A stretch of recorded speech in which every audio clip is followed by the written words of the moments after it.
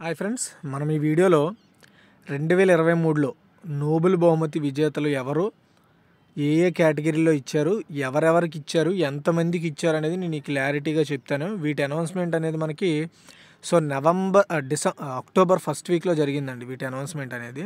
So every year కూడా అదే టైంలో మనకి నోబెల్ విజేతలను అయితే అనౌన్స్ చేస్తారు. పర్టికులర్గా ప్రజెంట్ జరుగుతున్న సాంకేతికతలు కావచ్చు కొత్త కొత్త వినూత్నాలు కావచ్చు ఉన్న వాటిల్లో ఇంకొంత లోతైన పరిశోధన చేసిన వాటికి మనకి నోబెల్ బహుమతులు అయితే ఇవ్వడం జరుగుతుంది.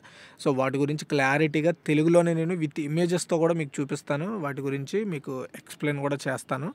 కాబట్టి జాగ్రత్తగా ఈ వీడియో ఎండ్ వరకు చూడడం ద్వారా మీరు ఒక్క విషయం చెప్తున్నాను. అందులో ఆరే ఆరు మనము ఆరే ఆరు బహుమతుల గురించి తెలుసుకుంటాం.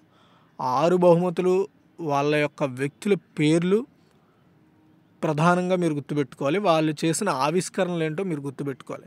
ఎందుకంటే మనకి లైక్ గ్రూప్స్ ఎగ్జామ్స్లో ఎలా ఎలా అడుగుతాడంటే వాళ్ళల్లో ఎవరిదో ఒకరిది పేరు ఇస్తాడు ఇచ్చి వాళ్ళు చేసిన ఆవిష్కరణ ఏంటి? లేదా పరిశోధన ఏంటి? వాళ్ళు చేసిన కృషి ఏంటి అనేది మనకి ఆ పక్కన అడుగుతాడు అనమాట జతపరచండి అని అంటాడు. మనం ఏంటి కన్ఫ్యూజ్ అవుతాం? అలా కన్ఫ్యూజ్ కాకుండా ఉండాలంటే ఆ వ్యక్తుల పేర్లు వాళ్ళు చేసిన ఆవిష్కరణలు లేదంటే వాళ్ళు చేసిన పరిశోధనల గురించి మీరు కూడా తెలుసుకోవాలి. ఓన్లీ ఆ ఆర్థిక శాస్త్రంలో నోబెల్ బహుమతి ఎవరు గెలుచుకున్నారు అనగానే మనం వెంటనే ప్రొఫెసర్ క్లాడియా గోల్డెన్ అని మాత్రమే చదువుకోకూడదు. ఎందుకంటే చెప్తాను మీకు ఎందుకనేది కూడా క్లారిటీగా చెప్తాను. సో అండ్ నేను కొన్ని రెఫరెన్స్ క్వశ్చన్స్ కూడా మీకు నేను చెప్తాను. దాని ద్వారా మీకు ఎగ్జామ్స్లో చాలా ఈజీ అవుతుంది. సో ఫస్ట్ ఆర్థిక శాస్త్రాల్లో నోబెల్ బహుమతి. ఈ సంవత్సరం అంటే ఇప్పుడు ఈ సంవత్సరం రెండు వేల ఇరవై మూడులో ఆర్థిక శాస్త్రంలో నోబెల్ బహుమతిని యాక్చువల్గా ఆర్థిక శాస్త్రంలో నోబెల్ బహుమతిని స్వెరిజస్ రిక్స్ బ్యాంక్ ప్రైజ్ అని కూడా పిలుస్తారండి దానికి ఈ పేరు ఉంది అయితే Harvard professor Harvard university professor Claudia Goldin ఈమె ఆమె. క్లాడియా గోల్డెన్కు సో ఆర్థిక శాస్త్రంలో మనకి బహు నోబెల్ బహుమతి ఇచ్చారు ఈమెకి. ఓకే? ఎందుకంటే ఆమె ఆర్థిక శాస్త్రంలో చేసిన కృషికి కృషికి మాత్రమే ఇచ్చారు. గుర్తుపెట్టుకోండి. తర్వాత వైద్య శాస్త్రంలో నోబెల్ బహుమతి. కోవిడ్ నైన్టీన్ వ్యాక్సిన్ అభివృద్ధిలో కీలక పాత్ర పోషించిన ఎంఆర్ఎన్ఏ టెక్నాలజీ చేసిన కృషికి గాను.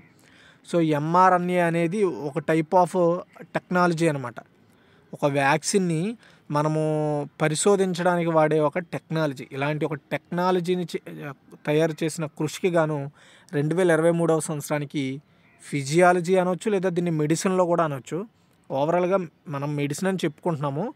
ఫిజియాలజీ అనేది సపరేట్ కేటగిరీ ఏం లేదు. ఫిజియాలజీ అనేది కూడా మెడిసిన్లో వన్ ఆఫ్ ది పార్ట్ అయితే ఫిజియాలజీ లేదా మెడిసిన్ అని కూడా అడగవచ్చు మీకు మన క్వశ్చన్స్లో సో ఫిజియాలజీ లేదా మెడిసిన్లో నోబెల్ బహుమతిని కటాలిన్ కారికో అండ్ డ్రూ విస్మాన్లకు ఇచ్చారనమాట కటాలిన్ కారికో అండ్ డ్రూ విస్మాన్ వీళ్ళిద్దరికీ మనకి వైద్య శాస్త్రంలో నోబెల్ బహుమతి ఇవ్వడం జరిగింది. ఎందుకు? ఎంఆర్ఎన్ఏ టెక్నాలజీని డెవలప్ చేయడంలో. సో ఈ ఎంఆర్ఎన్ఏ టెక్నాలజీ అనేది మనకి కోవిడ్ టైంలో చాలా యూజ్ అయిందండి. కాబట్టి నిజంగా మనం వీళ్ళిద్దరికీ హ్యాట్సప్ చెప్పాలి. తరువాత చూసుకుంటే భౌతిక శాస్త్రంలో నోబెల్ బహుమతి అండి.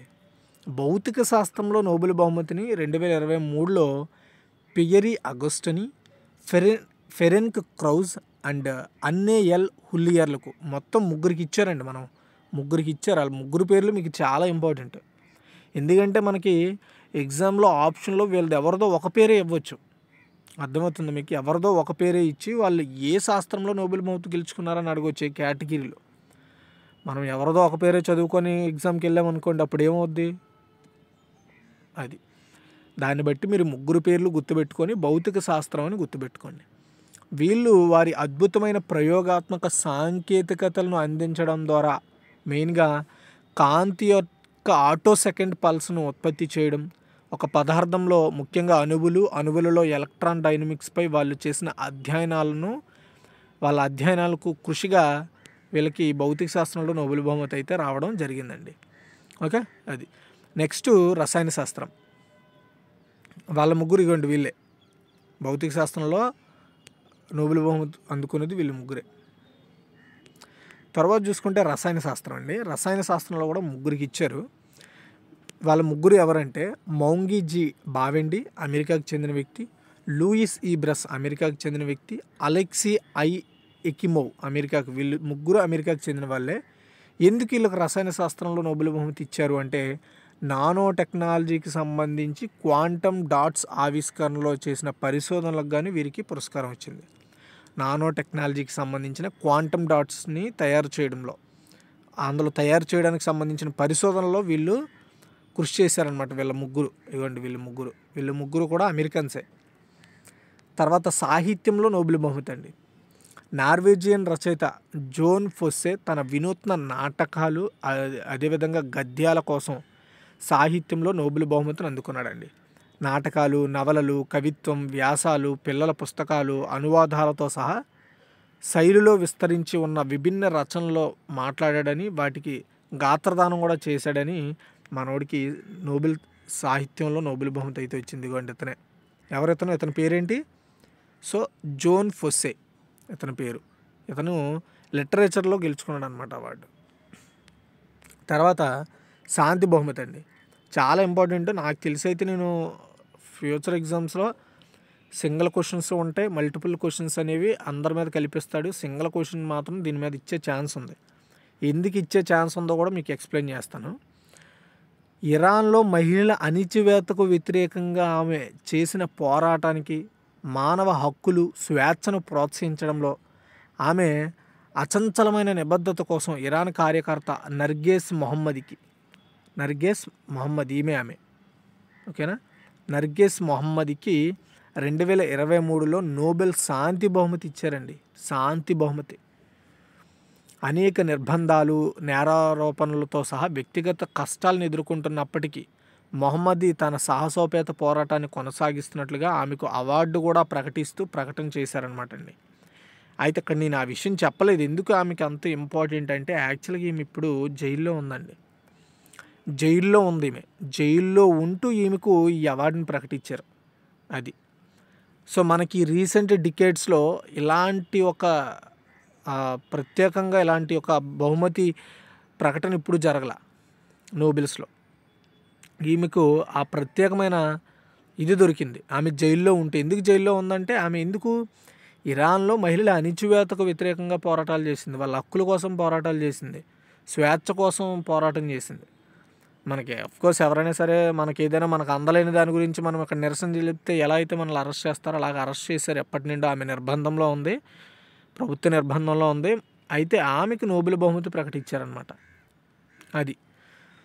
So that is power of Nobel prize అనమాట ఓకేనా? అందుకే ఈమె స్పెషల్ ఈ మీద ఖచ్చితంగా ఫ్యూచర్లో మీకు వస్తాయి ఎగ్జామ్స్లో క్వశ్చన్స్ వస్తాయి. కాబట్టి ఇవి గుర్తుపెట్టుకోండి ప్రతి ఒక్కటి కూడా. గుర్తుపెట్టుకోండి ఆర్థిక శాస్త్రంలో ఎవరికి వచ్చింది? వైద్య శాస్త్రంలో ఎంతమందికి వచ్చింది? వాళ్ళు ఎవరెవరు అట్ ది సేమ్ టైం భౌతిక శాస్త్రంలో ఎంతమందికి వచ్చింది? వాళ్ళు ఎవరెవరు తరువాత రసాయన శాస్త్రంలో ఎంతమందికి వచ్చింది? వాళ్ళ పేర్లేంటి? సాహిత్యంలో ఎవరికి వచ్చింది అతని పేరేంటి?